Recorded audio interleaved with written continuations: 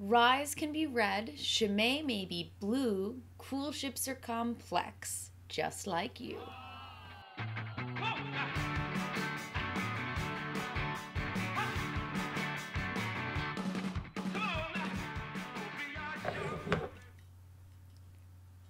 Ugh, I know I have that thing in here. I bought it. The Aha! Heart and Science Seasonal Release IPA from Ninkasi Brewing. 6.8% of alcohol going into our bodies. They still put the IBUs on there. Isn't that cute? It's a beautiful tribute to technical arts and heartfelt dedication that brewers, farmers, suppliers, and fans bring to the independent craft beer industry. Oh, yes. Just get it in my mouth. Thanks. Got this fancy glass because I'm a fancy lady. This is fine. Hmm. It's not uh, very bitter. You know, great. So you can't make any jokes about how bitter your heart is. Today I wanted to talk about the heartbreak and science. See what I did there. Um, behind recent closures going on here in Portland, Oregon. So, Beervana, as people like to call Portland, it's changing. And it's interesting to witness because this is an industry that has always been at the forefront of beer production. We're trendsetters, we have a lot of saturation, and I think a couple years ago when everyone was having that, oh, the beer bubble, it's going to burst, that thing was more focused here in Portland. So a lot of people are now saying, oh no, the bubble, it's being burst. Wow. I'll just outline a few things and then we'll talk about people's fucking bubbles. So, uh, Alameda Brewing closed uh, like October, November in 2018. No word yet on what's going to be happening with Alameda Brewing. We have two Lompoc locations that have closed. Um, I don't really care which ones they are. I was sexually harassed by a Lompoc representative some years ago at an event um, because alcohol apparently does that. So I've avoided them for as long as I've been in the United States. Um, Burnside employees a couple weeks ago uh, went to work to find that the landlord had changed the locks and posted a sign saying that Burnside hasn't made payment in months. No other word from them. Portland Brewing shut its restaurant and tap room, and Widmer shut their pub and tap room. Uh, Bridgeport Brewing Company announced on Tuesday that it will cease beer making immediately. Uh, the brewery opened in 1984, uh, making it one of the oldest breweries in Portland. and that's in the northwest and part of Portland. That's going to play into this. So I have a little quote here. Uh, from uh, Jeff Alworth, Beervana blog. He said uh, Bridgeport is arguably the most important brewery in Portland, but he goes on to say, quote, you continue to have new breweries open. This year, we've had a series of wonderful breweries that opened, and you get a crowded and more crowded and more crowded marketplace. And these older legacy breweries, if they're not nimble at making changes to be relevant, it becomes more and more difficult for them to stay in people's consciousness.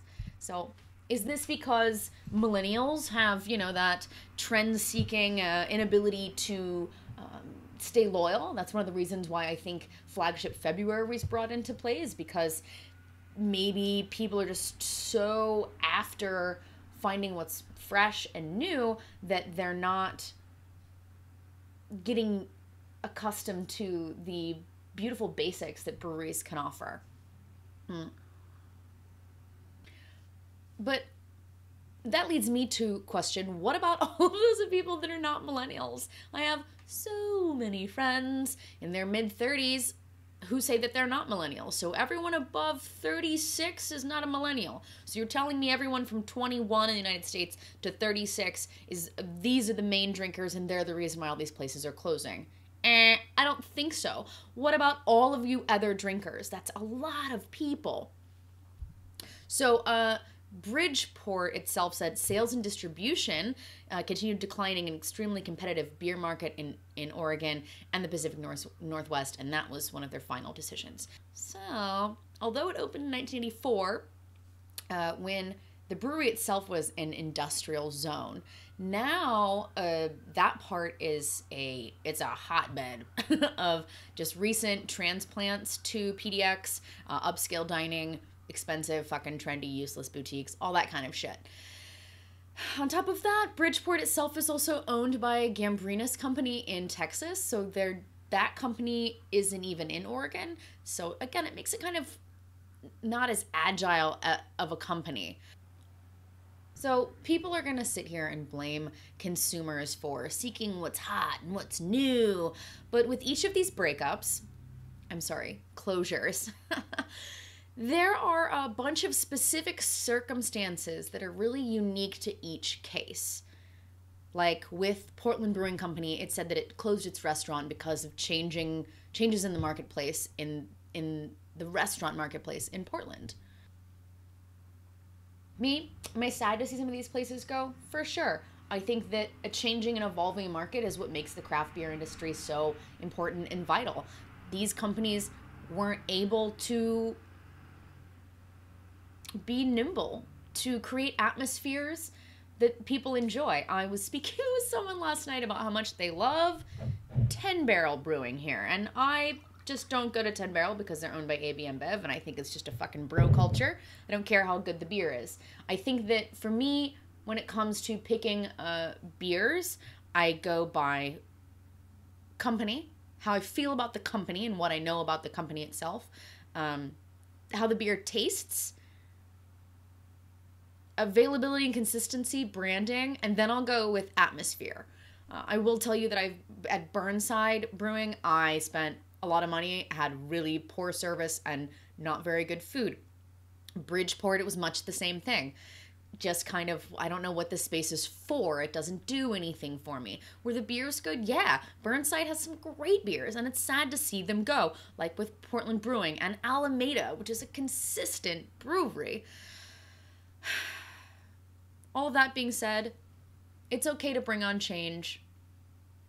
And it's okay to talk with your significant other about those changes that you want to see happen. You have a brewery that you love and support, you've got to communicate with them. Communication is key. Maybe do some hazy role play. I don't know. Not my thing. Communication is key. So, how do you feel about it? Do you think that we're losing these institutions? Or do you see this as a general progression, uh, something that is going to better the beer industry here in PDX? Now, today is a day where uh, around the world, many different cultures and countries are celebrating what they like to call Valentine's Day, a day celebrating love. So, rather, whether, rather, whatever, if you're celebrating Valentine's Day or Galentine's Day, or the all inclusive Palentine's Day. Palentine's Day. I don't care. I wanted to wish you a wonderfully delicious day. Do something romantic for yourself, for your grandma, for other people at the pub, whatever. Just take some time, take it in, and know that I myself will be consuming plenty of chocolate and flowers. Oh, the cleverness. Ciao.